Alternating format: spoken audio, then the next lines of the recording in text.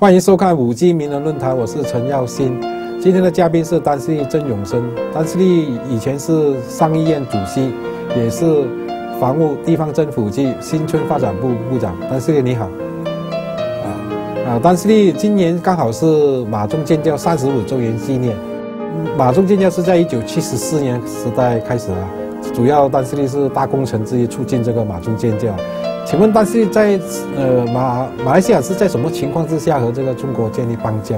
其实这个真正进行这个建交的工作，不是是在远在七十四年之前哦。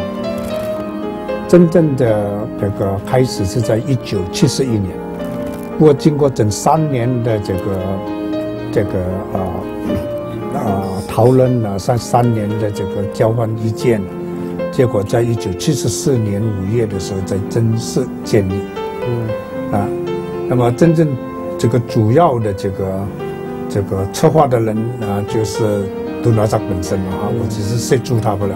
不过因为你是桥梁啦，因为你懂得华语，然后这个中国呃接触方面比较有方便。我是很荣幸的啊，当时他相信我，嗯，这个啊处理这个工作，嗯，因为因为这个。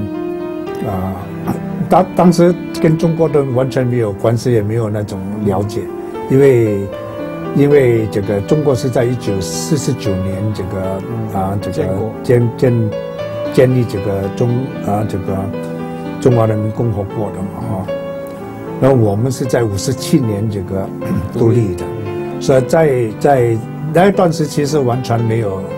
没有这个呃这个交往，也从来没有这个什么关系啊。但是到了一九七四年代的时候啊，因为当时马来西亚的情况啊也也也是这个很特殊的。但是为什么等到邓拉萨这个这个上任的时候，才这个事情才被容易办呢？可能那个时候邓拉萨他在英国念书的时候啊，他对这个啊。社会主义啊，共产主义比较了解，嗯，他也比较比较这个，当时他认为，即使我们国家跟中啊中华人民共和国的这个政体政治不政治不同啊，嗯，但是都可以共存，嗯，啊，但是我也在英国念书，所以我我这个也在英国这个情况之下，比较对这共产主义啊。这个比较没有那种。对地没有那种恐惧感，没有那种恶感，没有那种对齐的的心态，所以当时我们 刚刚两个嗯。都在都在政府里面呢，所以所以就就比较容易找到一个一个共同点啊。他说我们是我们都都认为，嗯，跟中国建交可能会对马来西亚的这个情况会有帮助，尤其是对整个整个整个东南亚的区域的这个啊。